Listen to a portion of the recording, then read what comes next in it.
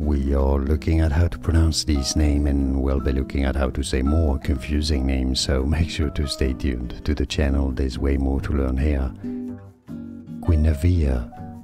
Guinevere, that's how to say it in British English, stress on the first syllable. Guinevere. Now, in American English, it's normally said as Guinevere, Guinevere, easy, Guinevere, or Guinevere. And now you know. Like this video if you found it useful, I appreciate the support, it helps me a lot. Thanks. More videos for you here to learn more correct pronunciations. Thanks for watching.